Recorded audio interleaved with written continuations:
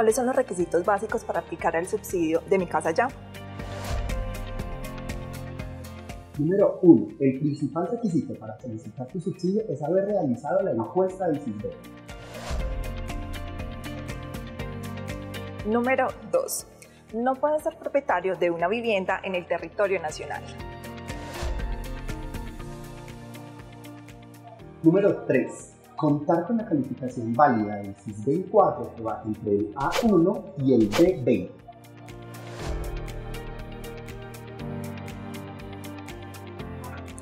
Número 4.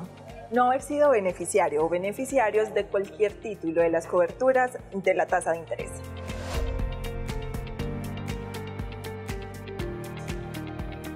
Pero sí, no haber contado con ningún subsidio familiar otorgado o por la caja de compensación o por el gobierno nacional.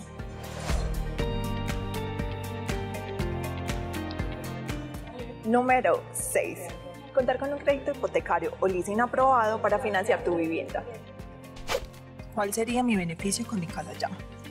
Los hogares clasificados entre los subgrupos A1 y C8 recibirán un subsidio equivalente a 30 salarios mínimos mensuales legales vigentes, es decir, 39 millones durante la vigencia de 2024. Los hogares clasificados entre los subgrupos C9 y D20 recibirán un subsidio equivalente a 20 salarios mínimos mensuales legales vigentes, es decir, 26 millones durante la vigencia del 2024.